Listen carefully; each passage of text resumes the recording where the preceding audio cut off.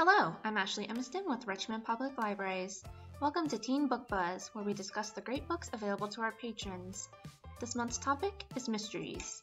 Whether you're a fan of thrillers, whodunits, or supernatural mysteries, the library has the perfect mystery book for you. In Away by Darcie Little Badger, the world is full of magic and the supernatural, and main character Ellie has inherited her family's gift for raising the ghosts of dead animals. When her cousin's ghost visits her after his unexpected death and confirms her suspicions that he was murdered, Ellie decides to discover the truth of what happened, no matter the cost. 17 year old Tabby and her boyfriend Mark, a college athlete and well liked in town, went on a hike together, but only one returned. When Tabby stumbles out of the woods claiming Mark fell off a cliff, everyone around her has their own opinion of what actually happened. Tabby quickly becomes the prime suspect in Mark's death and the case consumes the town as rumors fly and those involved are desperate to find out the truth. Told in multiple perspectives from everyone but Tabby, All Eyes on Her by L.E. Flynn will keep readers guessing.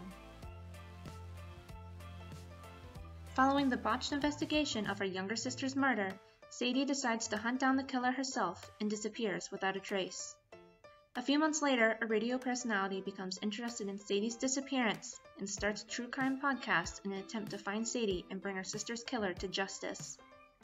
Told from both Sadie's point of view and the podcaster following her trail, Sadie by Courtney Summers is a great thriller that is full of suspense.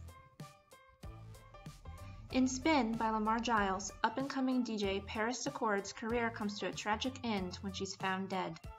Her loss leaves her group of friends grieving, but the murder investigation soon has them turning on each other, with all of them suspecting the others of killing their friend. Motives, sabotage, and secrets will all be uncovered as the group comes closer to discovering the killer's identity, and they'll have to work out who to trust before they wind up the killer's next victims. In City of Saints and Thieves by Natalie Anderson, Tina and her mother are refugees in Kenya looking to start a new life when her mother lands a job working for the Greyhills, a prominent business family in the city. But the Greyhills' fortune was built from corruption and crime, so when her mother is found dead in her employer's office, Tina is sure she knows who killed her.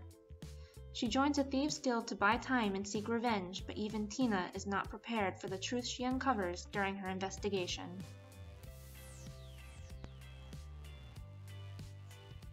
Here are even more great mysteries. Three of these titles, Grimoire Noir, Nancy Drew, The Palace of Wisdom, and Goldie Vance, are all graphic novels. The Silence of Bones is a historical mystery set in Korea during the 1800s, and Tiffany Jackson's books are filled with suspense that will keep you guessing until the very last page.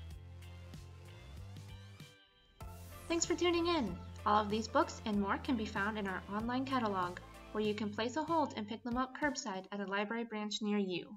Happy reading!